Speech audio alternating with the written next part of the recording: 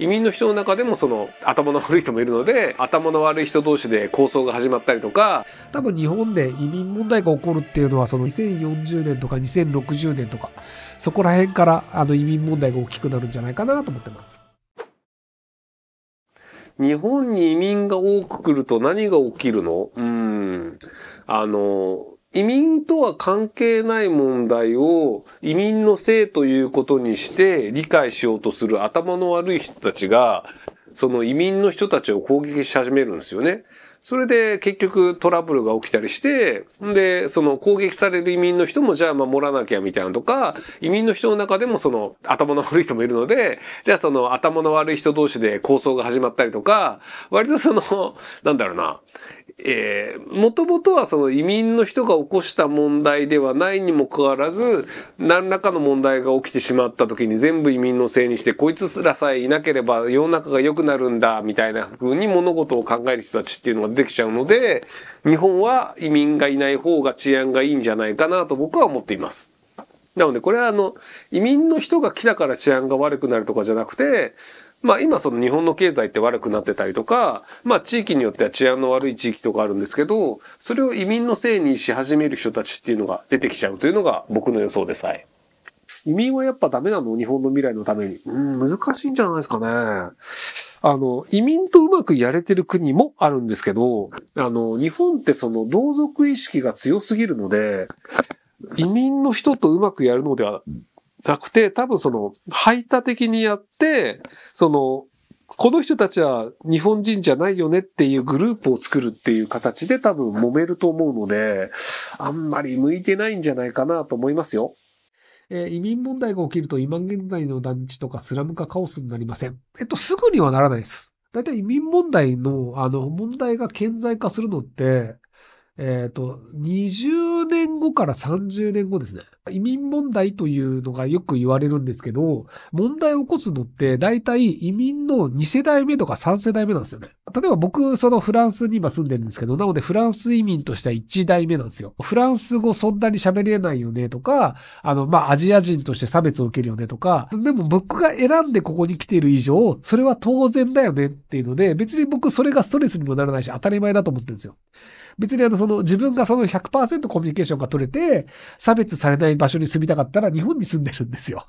なので、なんか差別的な対応を受けたりとか、コミュニケーションがうまくいかないのは当然だと思ってるので、別に何のストレスもなく、ああ、全然通じねえや、面白いと思ってるんですけど、なので、その移民1代目の人って問題起きないんですよ。要は嫌だったら帰ればいいから。問題が起きるのって2代目3代目で、なので、その2代目3代目でじゃあ子供のうちとかって別になんかあの子供時代の問題っていろいろあるよねっていうので、でも問題があったとしてもトラブルを起こす能力がないんですよ。なので、その2代目の子供が20代以上とかになって就職しようとするときに、あれ？俺差別されてね？みたいなのが気づくんですよ。で、まあ、うまくいく場合もあるし、うまくいかない場合もあるしってなるんで、で、ただ、二代目の方も、なんかあの、子供のうちに連れてかれた子たちとかも、ある程度理解はしてるんですよ。なんか、俺もともと日本人だったのに、なんか子供のうちに、そのなんか、フランスとかに連れてこられて、全然なんか言葉通じねえし、マジムカつくってなるけど、まあでも、親がそういう状態で、で、こっちに来なきゃいけないのが理解してて、なんですけど、三代目とかになると、もう、生まれた時からフランスにいますと。で、フランスで生まれて、フランスの教育を受けて、フランスで育って、フランスで就職しようとすると、えーでもお前イスラム教じゃね？とか言われて就職できないですよ。え、マジで？みたいな。あの、表向き言われないですよ。でもなんかあの人種がじゃあそのガリア系っていう白人じゃないとかで、そのあの元々人種的には北アフリカ系から来ましたとかになっちゃうと、そうするとあの完全に理不尽な差別を受けることになるんですよね。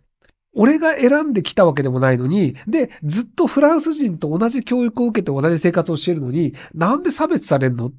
じゃあそこで歯向かうかっていうのになって、まあ昔あったその ISIS っていうイスラム国とかに行ってテロを起こしましたって人って、その2代目3代目が多かったんですよ。なので1代目の移民が問題を起こすことって実はほぼないんですよね。なので、その移民問題っていうのが日本ってそんなに今移民がそこまで多くないんですけど、で、多分問題が起きてくるとすると2代目3代目ができた時なんですよ。で、今のその、あの、技術実習生って呼ばれてる人たちって、基本的に永住権がなくて5年以内に、あの、自分の国に帰ってくださいっていう、あの、労働ビザなんですよね。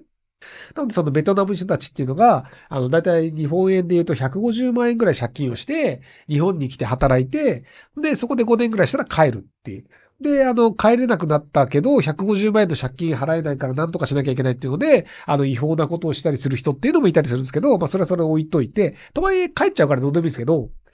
で、最近その、岸田政権でやろうとしているのが、その日修正に永住権をあげようっていうのをやっていて、で、永住権をあげた場合に、じゃあベトナムから来ました。でも仕事はありません。でもまあ何とかしますと。で、一代目は何とかしたとして、コメント、なんで借金してくるんだよ。えっと、借金しても日本に行って稼いで、それなりにお金を返すっていうのができた世代がいるんです。なので、あの、日本でも、そのなんか、あの、お金を払って、ブラジルに移民になって、なんとか儲かるかなって思った人もいるし、今の日本人でも、その外国に移住して、儲かるために、なんかあの、まあ、勉強したりとか、あの、業者にお金払って、あの、移住して、結果うまくいったって人もいるし、うまくいかなかったって人もいるんですけど、外国で暮らすために借金するって結構当たり前なんですよね。借金するだったり、まあ、お金貯めるだったり。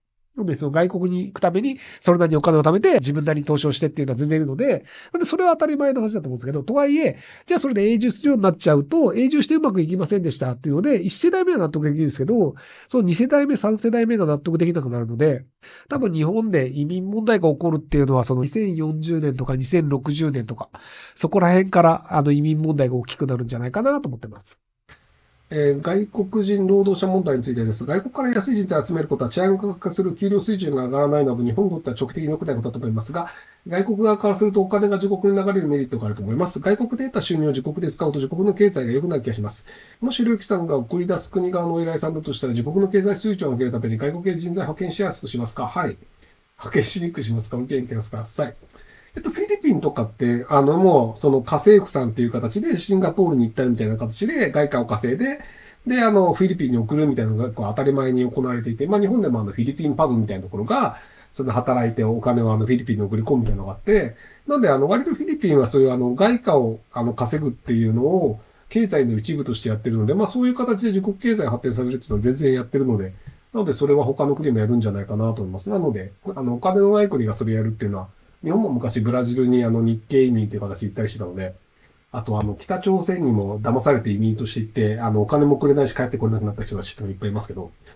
あの、昔はその情報が限られていたので、北朝鮮がその、あの、なんか、地上の楽園って言われて真に受けて信じて北朝鮮行っちゃった人たちも結構いるんですよね。その、あの、まあ、あの、資本主義というのは良くなくて、社会主義っていうのが、まあ、あの、新しいシステムで、で、これはその平等でうまくいくんですよっていうのを真に受けて信じて、本当に北朝鮮に行っちゃった人たちっていうのが、結構な人数いるんですよね、あの時代の日本で。で、その手紙を送っても、なんかあの、手紙が検閲されて、なぜかあの、こう、返事が来ないみたいな。そういう状態で、それで騙されて、なんか、騙されていったにもかかわらず、まあ、返事が来ないってことは幸せにしてるのかなみたいなことを信じて、もう一回行っちゃう親族みたいなのがいて、余計になんかあの、ミイラ取りかミイラになるみたいなのもあったらしいですけど。